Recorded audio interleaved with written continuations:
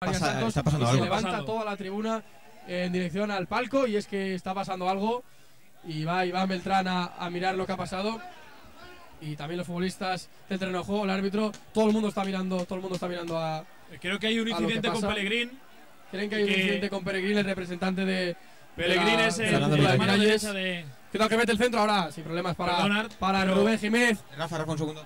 Sí, Hay, hay problemas en el palco. Hay un incidente con Pellegrín. La gente está de pie, no lo podemos concretar.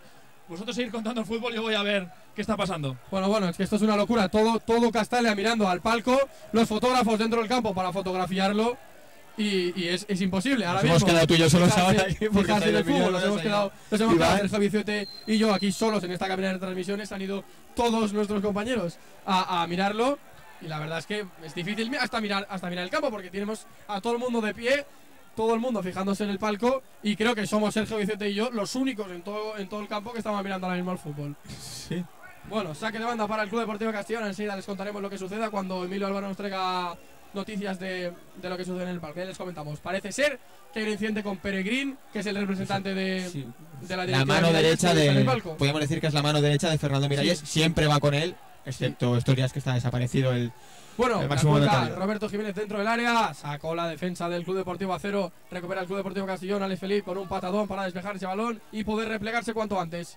Ahora toca con la cabeza Estefan Rodríguez, recupera el motorcito Nicolau por la banda derecha, se marcha Iván, también activo el lateral derecho del, del Acero hoy. eh, eh, Sergio, no, es que nos comenta que, que claro, no hay río aquí, porque- los ordenadores están totalmente desamparados. Tenemos a, Nos hemos quedado aquí a- a las abandonados.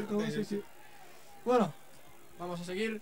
Eh, Hugo García que se marcha muy bien desde el costado izquierdo y queda que puede haber gente para el remate. Ahí estuvo atento Camaraza para rebañarle ese balón y queda que puede salir a la cámara, a No la sé, contra. no sé- no sé qué está pasando, pero la gente Oliva. sigue mirando al Sí, sí, palco. Sí, sí, sí, Seguimos, seguimos, seguimos. Por favor, Nicolau jugando con Roberto Jiménez.